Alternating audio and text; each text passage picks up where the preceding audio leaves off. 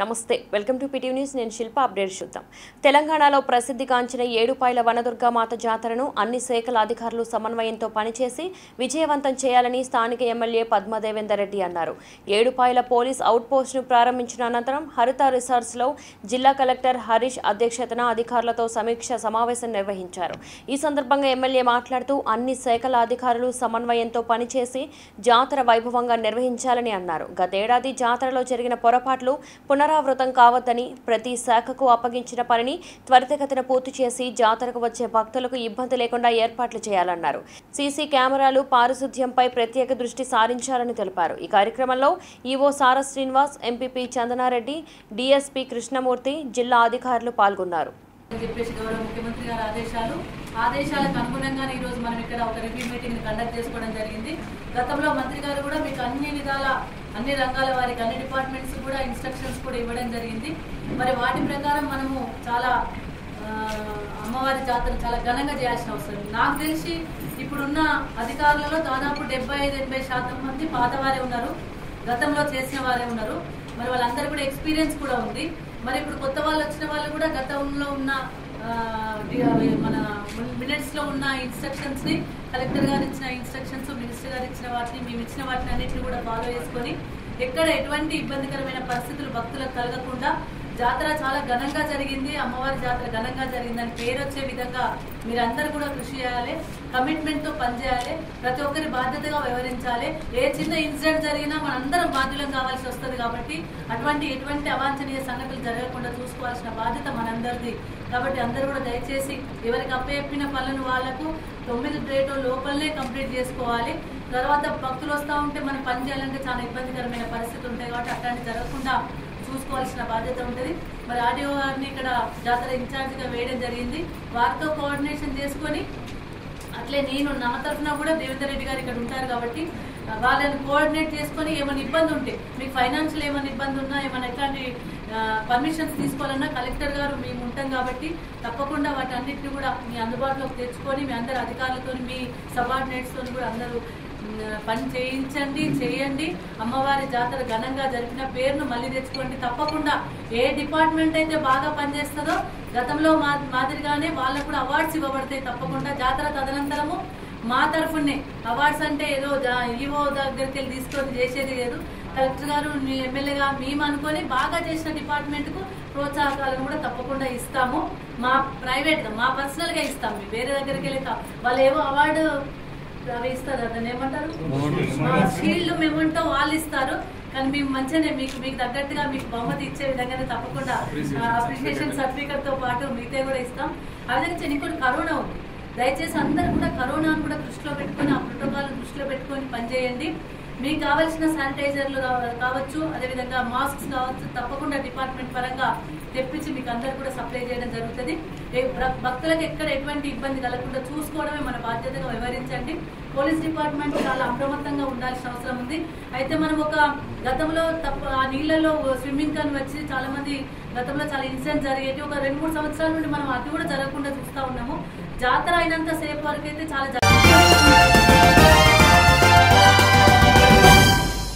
పెద్దపల్లి జిల్లాలో జరిగిన హైకోర్టు న్యాయవాద దంపతుల హత్య ఘటనలో భాగంగా విచారణ అధికారులు DCP admin Ashok Kumar Godavarikhani sub division ACP ఉమేందర్లు నిందితులతో సీన్ రీకన్స్ట్రక్షన్ చేశారు. మంథనిలోని కోర్టు పూలే విగ్రహం అంబేద్కర్ చౌరస్తా పాత పెట్రోల్ బంక్ నుండి సంఘటన జరిగిన స్థలం వరకు నిందితులు రెక్కి నిర్వహించిన స్థలాలను ఎవరెవరు ఏం చేశారు అనే విషయాలను పోలీసులు తెలుసుకున్నారు. మంథని సీఐ మహేందర్తో పాటు పలువురు పోలీసు అధికారులు పాల్గొన్నారు. కుమార్ సార్ ఇది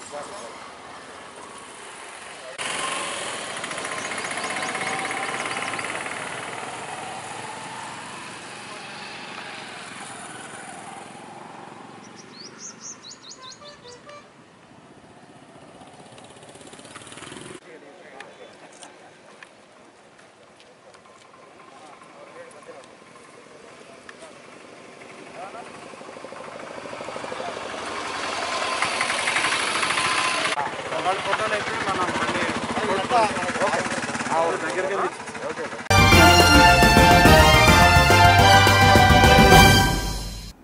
భద్రాద్రి కొత్తగూడెం జిల్లా అస్వారపేటలో ప్రేమించిన ప్రియుడు పెళ్ళికి నిరాకరించాడని ఓ యువతి ఆత్మహత్య ప్రయత్నం చేసుకుంది. అస్వరావుపేట మండలం ఉట్లపల్లి గ్రామానికి చెందిన బేబీ శ్యామల అస్వరావుపేటకు చెందిన టీడీపీ ఎంపీటీసీ హరికృష్ణలు గత పదకొండు సంవత్సరాలుగా ప్రేమించుకుంటున్నారు. ఇద్దరూ కలిసి పెళ్ళి చేసుకోకుండానే సహజీవనం చేస్తున్నారు. బేబీ శ్యామల స్థానిక ప్రైవేటు మందుల దుకాణంలో పనిచేస్తోంది. ఈ క్రమంలో బేబీ శ్యామల పెళ్ళి చేసుకోవాలని హరికృష్ణ మీద ఒత్తిడి తెచ్చేది. గ్రామంలో పెద్దల దగ్గర పంచాయతీ కూడా జరిగింది. శ్యామల గట్టిగా అడిగేసరికి పెళ్ళి చేసుకోను నీ ఇష్టం వచ్చినట్లు చేసుకో అని హరికృష్ణ చెప్పడంతో శ్యామల మనస్తాపానికి లోనే నిద్రమాత్రలు వేసుకుని ఆత్మహత్య ప్రయత్నం చేసుకుంది. స్థానికులు గమనించి అశ్వరపేట ప్రభుత్వ ఆసుపత్రికి తీసుకెళ్ళి చికిత్స అందించారు. నాది ఓట్ల పెళ్ళి అమ్మాయిది కూడా ఓట్ల పెళ్ళి కానీ వాళ్ళ అమ్మ నాన్నని వదిలేసి టెన్ ఇయర్స్ అవుతుంది. మ్యారేజ్ అస అసర యారేగూడెంలో ఒక అతన్ని లవ్ చేసుకొని ఇక్కడ అసరపేట వచ్చేసింది. ఇప్పటికి టెన్ ఇయర్స్ అవుతుంది. కానీ ఇంతవరకు ఆమెకి ఏ ఆధారం లేదు. ఆయన ఏ ప్రాబ్లంలో మందు తాగిందో తెలియదు ఎవరికి. మందు తాగిందని మన నాకు ఇన్ఫర్మేషన్ ఇచ్చేసరికి నీ ఫ్రెండ్ ముందు తాగారనేసరికి ఇక్కడ హాస్పిటల్కి రావడం జరిగింది. అందువల్ల ఇలా నా ఫ్రెండ్ హాస్పిటల్లో ఇలాగ గదిలో ఇలాగ మాట్లాడాలని పరిస్థితిలో ఉంది. దానివల్ల ఏ కారణం అన్నది ఆ అమ్మాయి నోరిప్పి చెప్పినప్పుడు తెలిసింది. ఎవరిని లవ్ చేసింది? ఎవరిని లవ్ చేసింది అన్నది ఊళ్ళో వాళ్ళకి చాలా మందికి తెలుసు నాకు కూడా తెలుసు. హరి అని ఎంపీటీసీ హరి. ఆయన్ని లవ్ చేసుకుంది. ఊళ్ళో కూడా పంచాయతీలు అవన్నీ జరిగినాయి. ఒక ఫోర్టీన్ ఇయర్స్ అవుతుంది. ఇప్పుడు మ్యారేజ్ చేసుకుంటా త్రీ ఇయర్స్లో మ్యారేజ్ చేసుకుంటా నేను అక్కడ చెప్పిండు. పంచాయతీ అయిపోయింది. ఇక్కడ తీసుకొచ్చి అసరాపేటలో పెట్టిండు రూమ్లో. అలాగే ఉందాము ఇప్పుడు పాయిజన్ తీసుకుంది.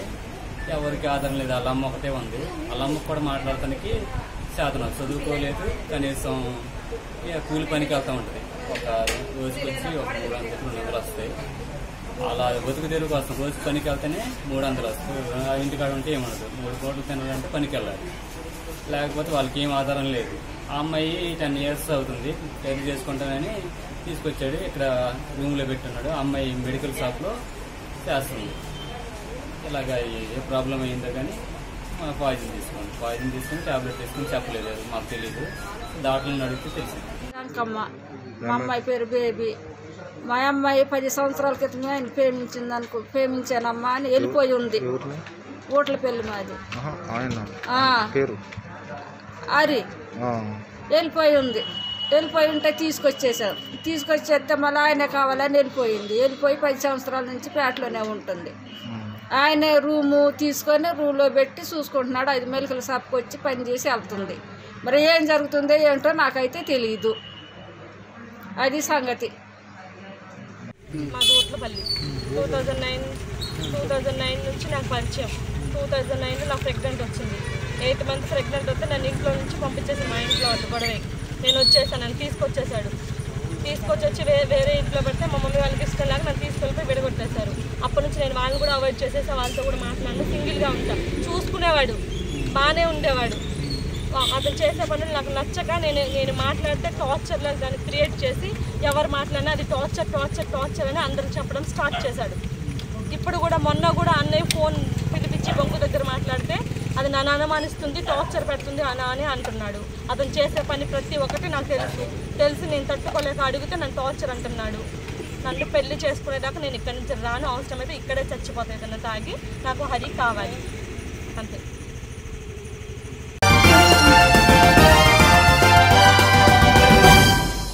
తమపై నిన్న ఫారెస్ట్ అధికారులు చేసిన దాడికి నిరసనగా పోడు భూములు వెళ్ళే రహదారి దిగ్బంధం చేస్తూ పండువారిగూడెం గిరిజనులు ధర్నా చేపట్టారు. ఇలాంటి దాడులు మళ్ళీ పునరావృతం కాకుండా చూడాలని అశ్వరావుపేట మండల పోలీస్ స్టేషన్లో ఫిర్యాదు చేశారు.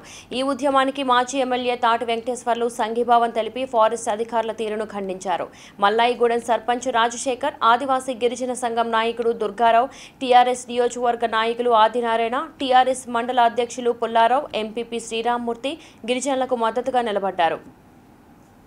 ట్రెంచులు తీయడానికి ఈ రోజున ఈ ఈ సమయంలో ట్రెంచులు చేసేటటువంటి ట్రెంచ్ తీసేటటువంటి అవసరం లేకపోయినప్పటికీ కూడా మరి వారు దౌర్జన్యంగా ఇవాళ గిరిజన మహిళ మా సోదరి ఇగో ఈ చెయ్యి కూడా విరగొట్టారు ఇతరులు తుంటి తుంటి విరగ ఇదయ్యారు ఏ- అతని తుంటి కూడా విరగొ విరిగిపోయి అంత పని చేస్తారు.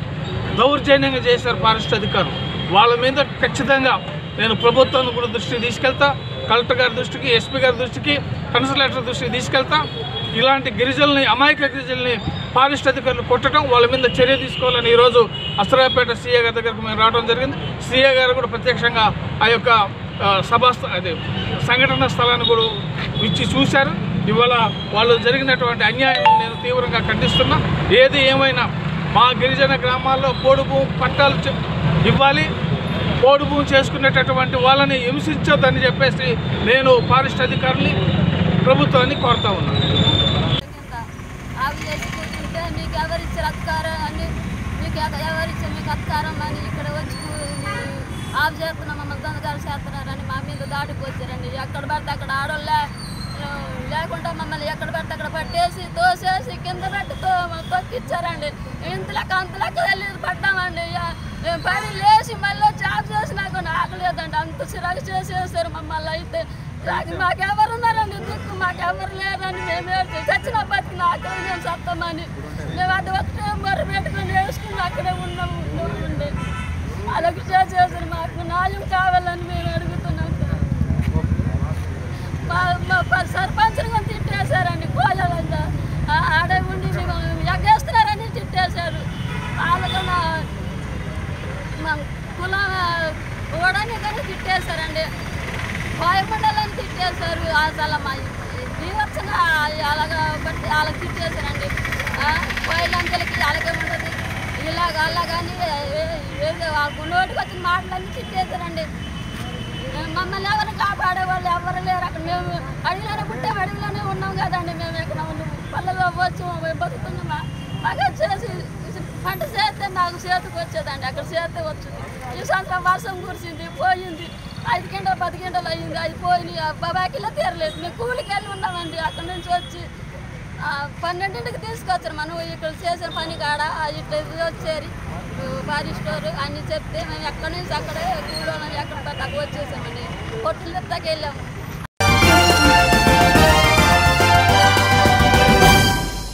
అమెరికాలో ఉన్న కుమార్తె వద్దకు వెళ్ళే విషయంలో భార్యాభర్తల మధ్య తలెత్తిన మనస్పర్ధలు చివరకు వారి ప్రాణాలు బలి తీసుకున్నాయి. క్షణికావేశంలో భార్యను దారుణంగా కత్తితో నరికి చంపి చివరకు తాను పురుగుల మందు తాగి ఆత్మహత్య చేసుకున్నాడు భర్త.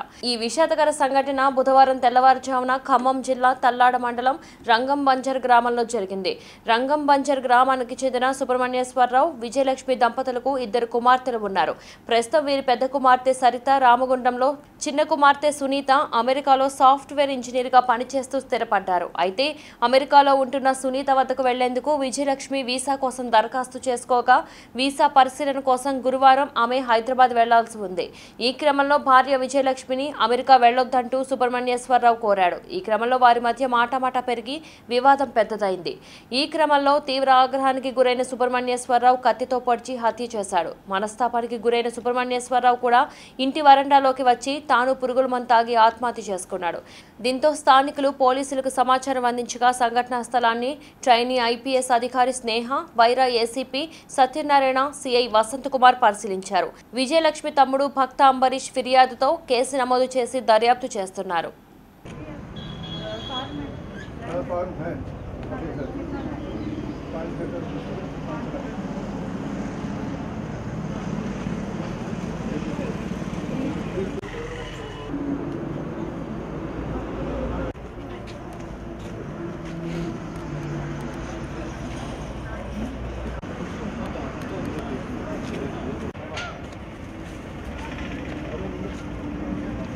గ్రామం అండి మాది.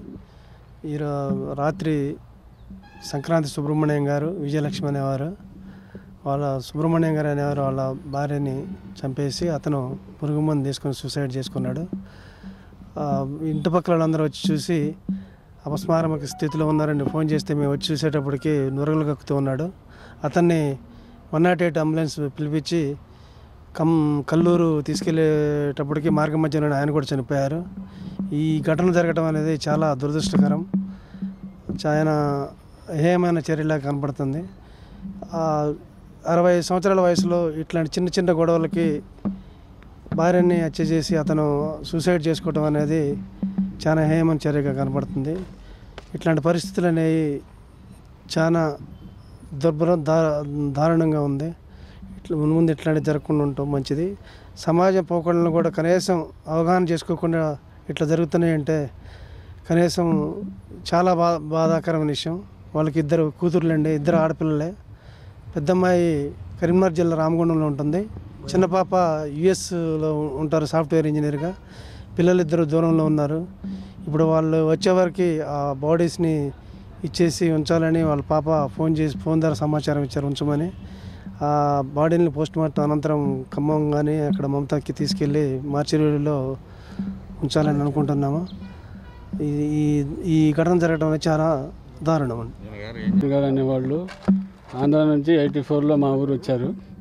అప్పటి నుంచి చిల్లర కొట్టు ఒకటి పెట్టుకొని ఆ తర్వాత కోళ్ళ ఫారం పెట్టుకొని మంచిగానే ఉన్నారు. మధ్య మధ్యలో వాళ్ళు భార్యాభర్తల మధ్యలో అప్పుడప్పుడు తగాదాలు వస్తుండేది. వాటిని కూడా మేము చాలాసార్లు పరిష్కరించాం. ఆ తర్వాత వాళ్ళ అమ్మాయిలు కూడా చదువులు పూర్తయిన తర్వాత ఇద్దరికి అమ్మాయిలకు పెళ్ళి చేశారు. ఒక అమ్మాయి అమెరికాలో ఒక అమ్మాయి పెద్దపిల్లలో ఉంటారు. ఆ అమ్మాయిల మధ్యలో ఈ వాళ్ళ తండ్రి మధ్యలో కూడా సరైన సంబంధాలు లేవు. ఈ రెండు సంవత్సరాల క్రితం ఇదే వ్యవహారాన్ని పంచాయతీ చేసి మంచిగా ఉండమని చెప్పి చెప్పినాం. ఆ తర్వాత అమెరికా కూడా ఇద్దరు కలిసి వెళ్ళారు భార్య భర్త. మళ్ళీ అమెరికా వెళ్ళాలనే ఆలోచనతోటి పదిహేను తారీఖు వెళ్ళాలనే ఆలోచనతో ఉన్నారు. ఈ అమెరికా వెళ్ళే విషయంలో ఏంటంటే భర్త రానని భార్య రమ్మని ఈ ఇద్దరి మధ్యలో మొత్తం మీద ఏం జరిగిందో రాత్రి అతన్ని విజయలక్ష్మి భార్యని నరికేసిండు.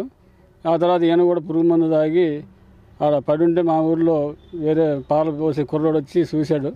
మా అందరం చెప్తే మేము అందరం వచ్చి అతను కూడా హాస్పిటల్ తీసుకోవడానికి ప్రయత్నం చేసి తీసుకెళ్ళాం మార్గ మధ్యంలోనే చనిపోయిండు. ఈ విషయాన్ని పోలీస్ వారికి కూడా తెలియజేశాం. మీడియా మిత్రులు కూడా వచ్చారు అందరికి తెలి తెలియజేశాం. అది పంచనామా చేశారు ఇంతకుముందే. కానీ ఈ జరి ఈ ఘటన జరగడం విషయం జరిగిందా అనే విషయంలో చాలా మా చుట్టుపక్కల గ్రామాల్లో కూడా ఒక సంచలనంగా ఇలాంటి పని చేయకూడదనే ఆలోచనతో అందరూ కూడా బాగా బాధపడ్డారు. మాకు కూడా చాలా బాధాకరంగా ఉంది. ఇలాంటి సంఘటనలు ఎప్పుడు జరగకూడదనే ఆలోచనతోటి రంగం మంజర విలేజ్లో ఇక్కడ మనము మృతురాలి మరియు మృతుడి ఇంటి దగ్గర ఉన్నాం. ఆమె విజయలక్ష్మి వయసు సుమారు యాభై ఐదు సంవత్సరాలు యాభై ఐదు అరవై మధ్యలో ఉంటుంది. ఆమె భర్త వచ్చేసి సుబ్రహ్మణ్యేశ్వరరావు అరవై అరవై ఐదు సంవత్సరాల మధ్యలో ఉంటారు. వారికి ఇద్దరు పిల్లలు. ఒక కూతురేమో అమెరికాలో ఒక కూతురేమో రామగుండంలో ఉంటున్నారు. పెళ్ళయింది వాళ్ళ కాపురాలు అక్కడే చేసుకుంటున్నారు. వీరిద్దరికీ చిన్న చిన్న విషయాలకు అంటే చుట్టుపక్కల వారిని అడిగి తెలుసుకుంటే తెలిసిందంటే భార్యాభర్తలు ఇద్దరికి చిన్న చిన్న విషయాల్లో రోజు ఏదో ఒక విషయంలో పోట్లాడుకుంటూ ఉంటారు. గ్రామస్తులు సర్ది చెప్పడం కూడా జరిగిందని చెప్తున్నారు. గతంలో వీళ్ళు అమెరికాలో ఉన్న కూతురు దగ్గరికి వెళ్ళొచ్చారు. మళ్ళీ వెళ్ళడానికి సిద్ధమవుతున్నారు. దానికి భర్తనేమో నేను రావడం ఇష్టం లేదు రాను అని చెప్పడం ఈమెను ఇద్దరం కలిసి వెళ్దాం అనడం దాని మీదనే గొడవ జరిగినట్టు. క్షణికావేశంలో ఆయన కత్తితో ఆమె మెడ మీద నరికడం వల్ల అక్కడే స్పాట్లో చనిపోయినట్టు తెలుస్తుంది. ఆ తర్వాత ఎర్లీ మార్నింగ్ ఉదయం ఐదున్నర ప్రాంతంలో కూడా ఆయన బయట వాకింగ్ చేస్తున్నట్టు ఇరుగుపోరు వారు చెప్తున్నారు. ఆ తర్వాత మరి ఆయనకి ఏమనిపించింది ఏమో భయం వేసినట్టుంది ఆ అఫెన్స్ని చూసి. మా ఇంట్లో అతడున్న పడి ఉన్న పరిస్థితి అక్కడ ఉన్న పాయిజన్ స్మెల్ని బట్టి చూస్తుంటే ఆయన స్వయంగా పాయిజన్ తీసుకున్నట్టు తెలుస్తున్నది. అది మిల్క్ వెండర్ ఎవరైతే ఉన్నారో మిల్క్ బాయ్ ఆయన వచ్చి చూసిన తర్వాత మనకి ఈ విషయం మొదటిసారిగా ఆయన చూడడం వల్ల మనకి ఈ విషయం బయటకు వచ్చింది దాంతో అంబులెన్స్లో హాస్పిటల్ పంపిస్తుంటే ఆన్ ది వేలో ఆయన చనిపోయినాడు. వాళ్ళ కూతురు ఇంకా చేరుకోలేదు ఇక్కడికి. ఆమె వచ్చిన తర్వాత అన్ని వివరాలు తెలుసుకొని కేసు నమోదు చేసుకొని విచారణ చేస్తాం.